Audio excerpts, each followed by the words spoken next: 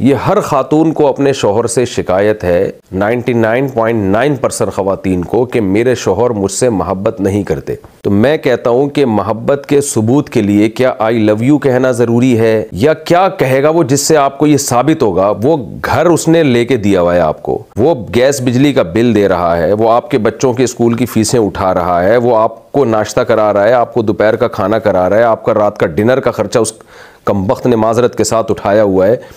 ईद बकरीद पे कपड़े बना के दे देता है आपको और क्या सबूत पेश करेगा वो मोहब्बत के लिए। तो सारे मियाँ करते हैं, इसलिए करते हैं ना कि उनको मोहब्बत है। आप ये कह सकती हैं कि वो हँसी मज़ाक का जो एक रिश्ता होता है, हा हा, हु, ही ही वाला, जो गर्लफ्रेंड और बॉयफ्रेंड में आजकल माशरे में नज़र आ रहा है और घंटों घंटों फ़ोन पे ऐसे लगे हुए होते हैं जैसे एल्फी से किसी ने फ़ोन उनके कान पे चिपका दिया है। तो इस तरह से लगे हुए होते हैं। वो वो वाला हिसाब किताब शायद नहीं होगा जो आजकल मियाओं का होता नहीं है।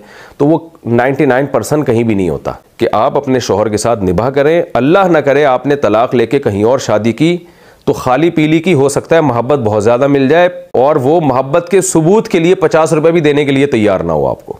और फिर आप जो खून के आँसू रोएँगी कि यार वो तो माशाल्लाह इतना ख्याल करता था और ये तो बस टरखात टरखात के चला जाता है। तो ऐसा नहीं हो कि इससे बदतर मिले आपको। तो अल्लाह का शुक्र अदा करें अच्छा वाला मियाँ मिला हुआ है। बाकी आपको कोई शिकायत है तो मियाँ को बता दें, भाई, थोड़ा सा हेलो हाई कर लिया करो, थोड़ा सा मुस्कुरा के बात कर लिया करो, थोड़ा सा कभी जज्बातीपन भी दिखा दिया करो कि मुझे तुमसे मोहब्बत है और मैं तुम्हारे बगैर रह नहीं सकता।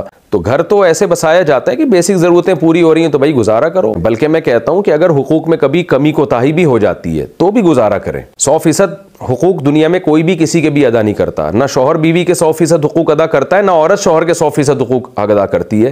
क्योंकि ये रिश्ता बहरहाल एक कंप्रोमाइज़ पे ही होता है कि कुछ औरत गुजारा कर ले, शोहर की खामियाँ, कुछ शोहर बीवी की खामियाँ गुजारा कर ले। तलाक लेने में जो नुकसान है, उस नुकसान से बहरहाल वो फ़ायदे करोड़हा गुना ज़्यादा हैं।